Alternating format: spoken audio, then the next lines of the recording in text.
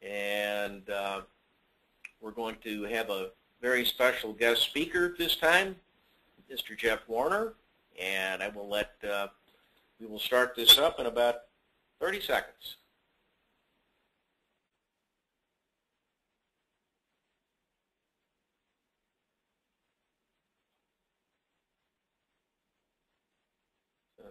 Doesn't look like anybody's joined.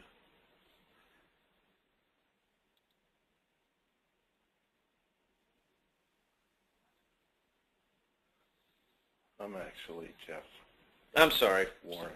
Jeff Warren. I'm, not Kurt. correct Warren. me, correct me. So I, uh, I get bad with names.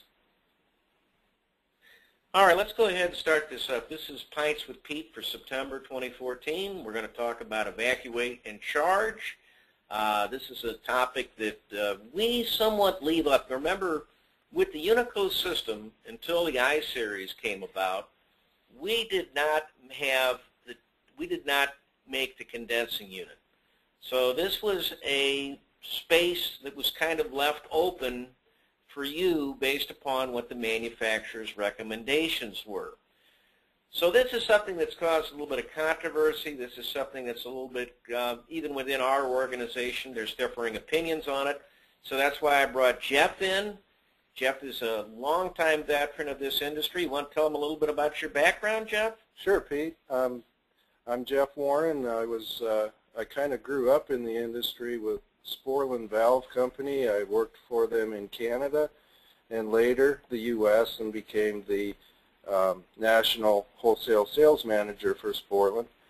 And um, that's kind of where I grew up in this industry. I was with them for 32 years, and uh, Pete has asked me to stop by today and, and talk to you fellas about um, what's the best way that I can think of to charge a system. So that's why we're here today. So uh, we're going to kind of turn this over to Jeff here because he's the expert, and we're going to talk about, you know, first we have to evacuate the system before we charge it. So let's talk a little bit about that, Jeff, if you would. Sure. Before we before we even get rolling on how to charge the system or even evacuate it, uh, it, there's more to it, I think, than just hooking up a vacuum pump to a system. Before you do that and start drinking your coffee, there's a couple of things that I think are very important to consider. And uh, one of those, Let's see. Little tech, stand by for technical difficulties here.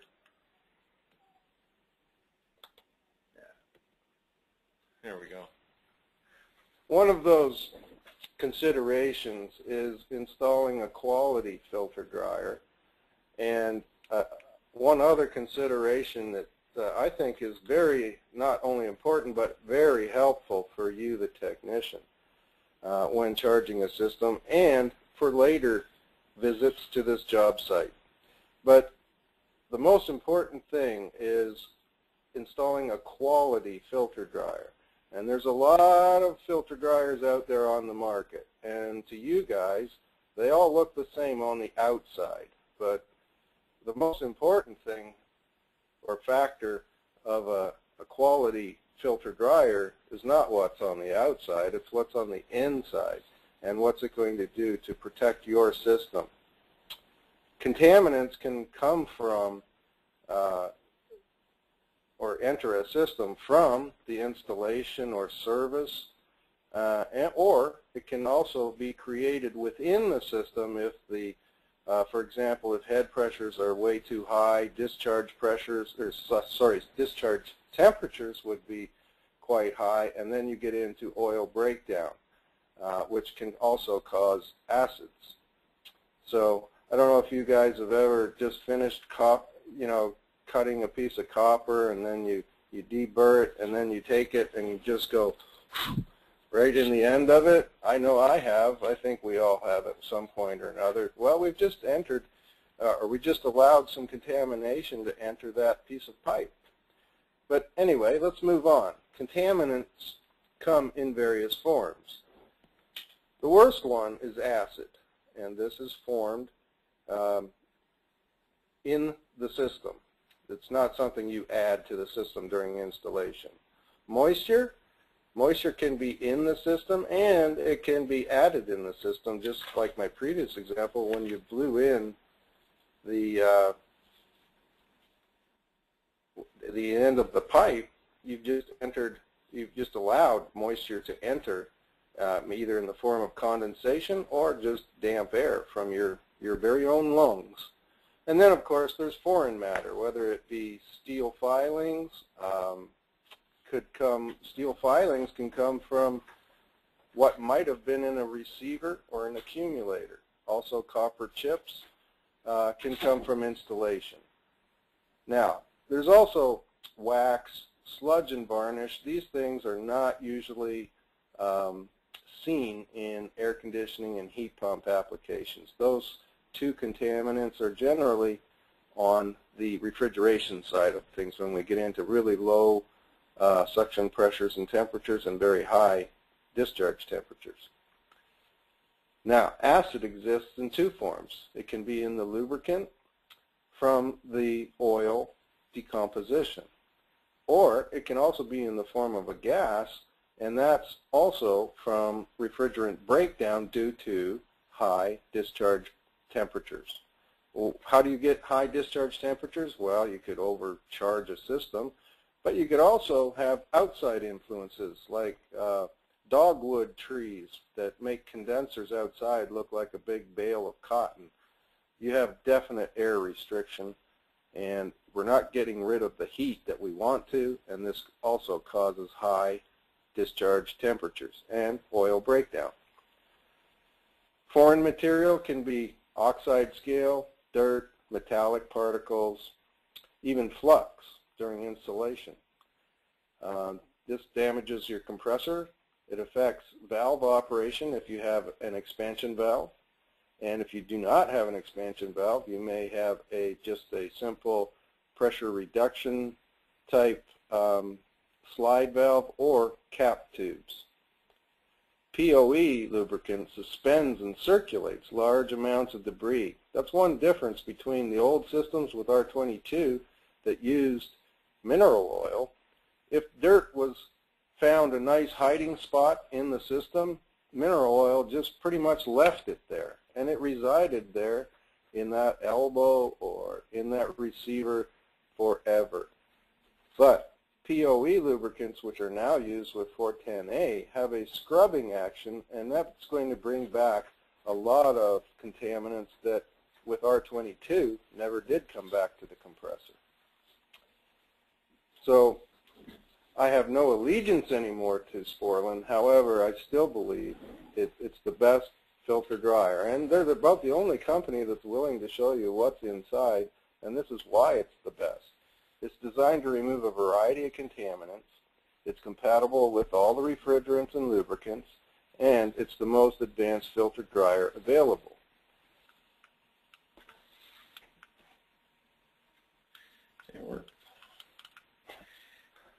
Here. Sometimes you have to click this. There you go.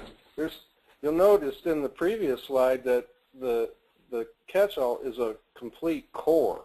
And that core is made up of two basic types of desiccant. One is molecular sieve, and the other is activated alumina. And you're going, so what? Well, first, it's got molecular sieve because molecular sieve has a very high water removal capability. However, if we just had molecular sieve, we don't have much to attack any acids that might be in the system. So that's when we come to the other um, ingredient or desiccant. But first, I just want to show you how molecular sieve works on um, water and not very well on acids. Here's a, this is very microscopic, and here's just a granule of molecular sieve, and you see these tiny pores. They're very small pores, just like the water molecule. Very simple, small molecule H2O. that little molecule can get in these pores and it's trapped in there forever. Acid molecules, refrigerant molecules, oil, and uh, oil additive molecules are very large molecules and will never fit in these tiny pores of molecular sieve. But How, how large are they? Let's talk about actual size of these pores, Jeff. How many microns are these?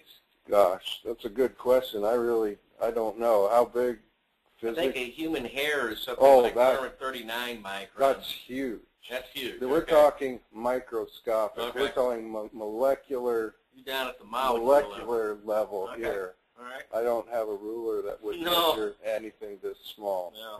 But that, this is what we're dealing with. Now, like I said, the other desiccant that they use is activated alumina. It has a very high acid capability and not very good water capability. And here's why. We're looking at this again from a molecular level.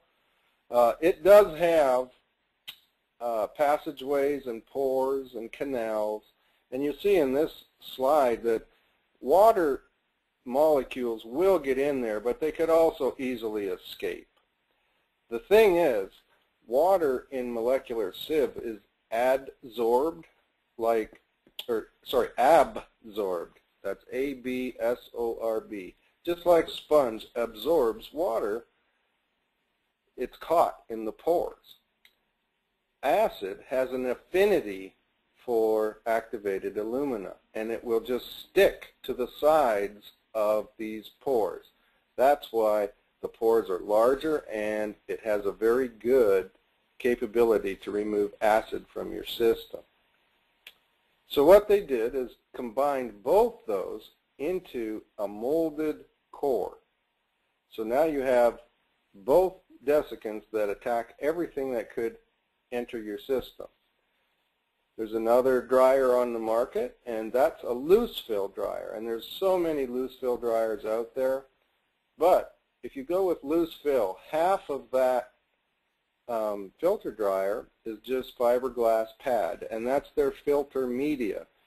The catch-all on the left, it's a molded core, and the porosity of that core is very closely controlled, and that's your fil filtering media.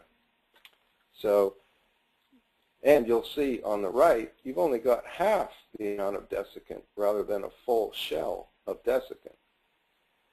The other thing with loose fills is, if we look at this a little closer, the, the action through a loose fill dryer is very violent. You have liquid refrigerant flowing through here at a very quick rate, and it causes these uh, granules, loose fill granules, to rub together and some break off, some just powder away and go into your system. Now, if we remember right from the start, the other consideration I thought of was a um, sight glass or a liquid moisture indicator. That's what's usually available. So the question is, where's the best place to install the sight glass? If we look at this diagram as a system, ideally, and the best way for you is right ahead of the expansion device. Now, there's a few facts that you should all know. No matter what company made the thermostatic expansion valve on your system, they all are designed to receive 100% liquid refrigerant at the valve inlet. They are not designed to receive liquid and vapor. If you feed an expansion valve with liquid and vapor, the capacity, the rated capacity of that expansion valve is reduced 50%. So if you have a three-ton system and you put, excuse me, you put a three-ton valve on that system, everything looks great unless you feed that valve with liquid and vapor. Be bubbles in the liquid line. That valve is only good for one and a half tons. You cannot expand a bubble. It already has expanded. That's why it's a bubble. So the seal in front of the expansion valve, when that seal clears up and there are no bubbles, that's going to help. you're going to know that 100% liquid is feeding that expansion valve. So, any, I just wanted to make a point, to just to to reiterate, that we had Ron Beckley from Sporlan in here a couple of months ago, and he said the biggest problem with valves, when there is a problem with the return of a valve, it is related to contaminant in the system. So this is very important that we follow this uh, evacuation procedure. yeah, I, I can agree with what Ron said. Um, out of all the valves that came back, 95% of them had foreign material in them, causing them not to work properly. So, so to charge the system, the first thing I would suggest is get your hoses on there and pull a vacuum down to 500 microns. But use a micron gauge, not a manifold gauge. Your manifold gauge cannot measure 500 microns. So that's an electronic gauge. Yes, it is. Okay. Yeah, and they're uh, most guys have them, and Mhm. if they don't, they're readily available. Right. Very, Robinair has it. And, very competitively Yellow priced. Jacket. Any wholesaler will will have one or two different manufacturers uh, available to you for Okay. micron gauges. Also, what's important is to use the hoses that are intended for pulling a vacuum. Again, not your manifold gauge hoses. A lot of you may not know this, but um, your manifold gauge hole hoses are built to hold a pressure. However, when you put a vacuum on those hoses, the walls of those hoses break down and the hoses can actually leak. So if you use your manifold gauges with the hoses, not necessarily the gauges, but the gauge hoses, uh, when you're pulling a vacuum, you can actually be sucking moisture into the system rather than pulling it out with your vacuum pump. So that's important. The other thing is those hoses that you find on your gauge manifold set, they have um, Schrader valve depressors in them. That also restricts the area that you have to pull a vacuum from. So it's uh, it comes down. It's very difficult to uh, shove a marshmallow through a keyhole, and that's basically what you're trying to do if you use the hoses off your manifold set. There are hoses available that have no restrictions, and uh, you can pull a good vacuum a lot quicker. Excuse me. so when you're certain there are no leaks, which means the system holds a vacuum, you simply charge the high side with liquid refrigerant. When it doesn't take any more liquid, you can start the system up and top it up with vapor refrigerant on the low side until you reach a full sight glass. This is the point. This, at this point, that's when you can go and enjoy your coffee. Because until that sight glass clears up, you don't have any subcooling. When the sight glass does clear up, you do have subcooling wherever. I'm sorry, excuse me. I got a little cold. I'm sorry. Um, when that sight glass does clear up, you have subcooling exactly where that sight glass is installed. I think the best place, as I said before, is in front of the expansion valve, but in some cases that's not available. And you may have to put it just on the liquid line on the outlet of your condensing unit. That tells you that at that point you have subcooled liquid, but not necessarily at the expansion valve. Just keep that in mind. And some Unico systems actually, um, they're separated, the condensing unit is separated from the um, evaporator coil uh, by as much as 30 feet because some Unico systems are in uh, attic spaces. So you also have to allow enough su subcooling to overcome that vertical lift. It's basically um, uh, half a pound per foot. So if you had a 30-foot lift, you're, you're going to have to have enough subcooling to make up for a 15-pound drop in pressure. And, and, and that's very important with Unico because a lot of our systems, probably the vast majority of them, are on an attic, possibly 20, 25 feet up, something that's very important. So glad you covered that. That's something we're a little different with than the average installation. Now, most manufacturers of condensing units do have a table, and it's basically uh, uh, dependent upon the outdoor temperature the day you're charging the system. And then if it's 75, they're probably looking for around 10 to 15 degrees subcooling. Um, but all manufacturers of condensing units have these tables available to you. But again, it's important. You're measuring the, if you're measuring the subcooling at the outlet of the condenser, make sure you have enough to overcome any vertical lift because it's basically half a pound per foot of lift. And it doesn't matter what size the liquid line is. Could be could be three eighths, it could be one and one eighth. It doesn't matter. It's that it's the same thing. One one pound lift is half a pound drop. Jeff, one question. If you do see a bubble in your sight glass, is that cause for alarm necessarily? Um, well, if if I'm assuming you're there to see the bubbles Uh-huh. because you got a call. Okay. So I'm gathering there's a problem. Okay. Contractors just don't go around. That's true. They don't generally go to houses No, how you- how- Right. How you doing today? I want to look at your sight glass.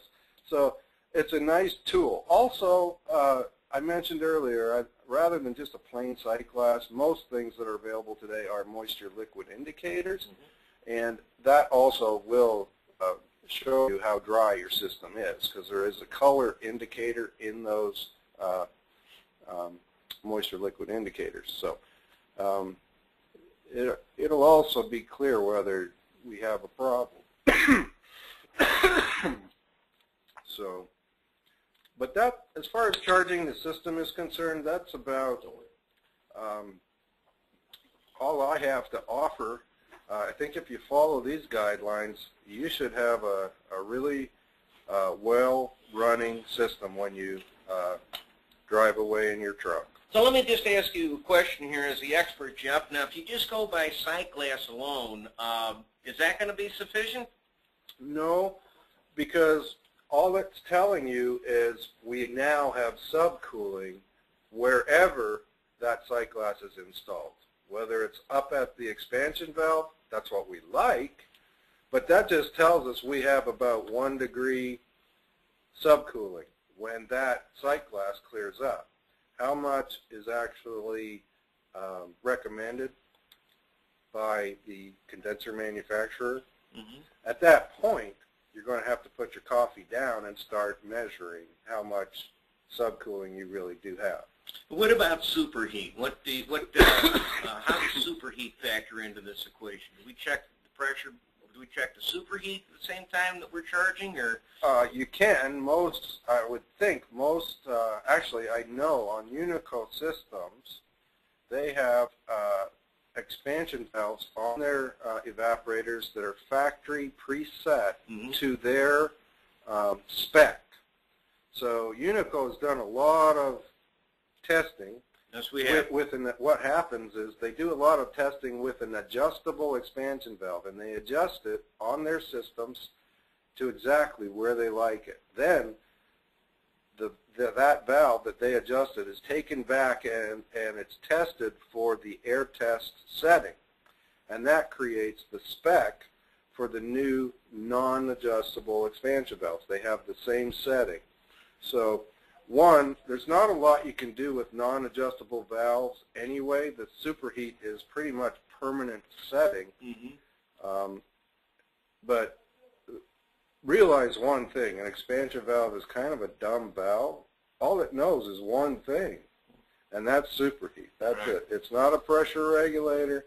It, if your temperature's not cold enough, but your superheat is good, I'm say, thinking 8 to 10 degrees superheat, the expansion valve is not a temperature control. Temperature is a function of compressor. Um, all it knows is superheat. And if that's all you take away today, you're ahead of the game. now, one thing, Jeff, our coils are a little colder than most air conditioning coils. Originally, back when you were calling on us, uh, we were setting them for about 40 degrees. Now about 44 degrees, but that's still we still get about a 25 degree delta T over our coil under the ideal conditions. So uh, I think what that means is when you're charging the system, you're going to have a little bit lower suction pressure on cooling than you would with a standard uh, air conditioner. Is that am I correct in that assumption? Well, again, temperature is a function of compressor. If you have enough compressor, yeah, your temperature is going to be a little lower. Mhm. Uh, but our standard, uh, my standard evap temperature, if I ever had to do any selections at all, uh, and I'm not told exactly what the temperature is of the evaporator, if it's air conditioning, I always go at 40 degrees. And, and that's what those valves are set up for. Right. And so we've got the I Not- series from Sporlan, which is factory set, and you can't play around with it. Yeah, as a matter of fact, I also believe you get, uh, it's a BI, hmm uh, which is uh, a balanced ported valve. Correct. And they are excellent. They, they are not, one thing no textbook ever talks about is that fourth pressure, the liquid pressure coming into the valve. And the reason textbooks don't talk about it, because valve manufacturers have taken care of that in the design of the valve. But what happens, and what valve manufacturers do not have control of, is when condensing temperatures and pressures change. Outdoor temperatures will change, and that's going to change the inlet pressure on valves. Uh, so one thing a balanced ported expansion valve has over the others is that liquid pressure on its inlet has no effect on the valve's performance. It truly acts off the three pressures that you've all grown up to know expansion valves work off of. The bulb pressure is the one opening pressure. The evaporator pressure is a closing pressure. And in Unico's um, situation, there is also a spring. If it's an adjustable valve, that spring is your adjustment. But in Unico's case, it's set at a certain spring tension to accomplish the right amount of superheat. But those are your three pressures that valves, you all grew up to know expansion valves work off of. And on a balanced port valve, that truly is what it works off of. The inlet pressure has no bearing at all uh, on the valve performance. The head pressure can swing up and down all over the place. The valve will still control superheat properly. Well, Jeff, that was great. Uh, as you just kind of see, we have a new product, our I-Series by Unico, that will use an electronic expansion valve, and these systems are basically pre-charged from the factory. In the case of the three-ton unit, it's pre-charged for 131 feet. Uh, you can extend that to 210 feet, but it's going to be very rare. It's almost always pre-charged. Uh, again, you're getting into a valve that I think in our case has 1,590 stops. Uh, Did I get that number I correct? think it's 1580. Uh, 1,580, It's, okay. a, it's an electric valve, and it's got a step motor. And that step motor moves the pin in and out of the valve port. And it does so like a ratcheting uh, action. And each, each click is one step either up or down. And you talk about very close and tight resolution. Um, if you've got a valve that has a total of 1,580 steps, that's 1,580 positions, and the whole stroke of the valve from full close to full open is only about 30 thou of an inch. Wow. So you put 1,580 steps into one, 30 thou of an inch, uh, that's very close resolution. So the analogy I've been using with everyone is a TXV is a carburetor, an electronic expansion valve is a fuel injector. That's a great analogy. And so you don't see too many carburetors out there anymore. We're going to be using the TXV for some time.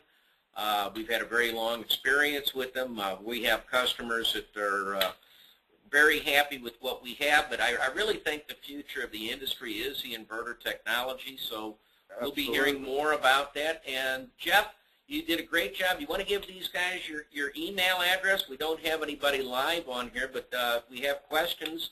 Uh, we'd like to hear them, and, and Jeff is really the one to ask because I'm going to say, let me get with Jeff, because if I don't know something, I don't make something up. So you want to give me your email address, Jeff? Sure. My email address is the letter J, the letter S as in Stephen, Warren, W-A-R-R-E-N, 5, 6 at gmail dot com.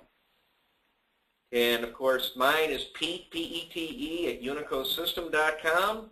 And again, uh, I hope that we have people watch this on our recording. This is one of the best ones we've had. We may have a we may have a repeat performance of this, Jeff, and uh, certainly enjoyed your coming in here and giving your expertise on this. So Well, thanks for the opportunity, Pete. and hope to be Uh, working with you. So uh, everybody, thank you. Uh, be safe. Be safe this weekend and uh, enjoy yourself. And again, stand stand by for another Pints with Pete. We'll be doing that the last Friday in October. Thank you all.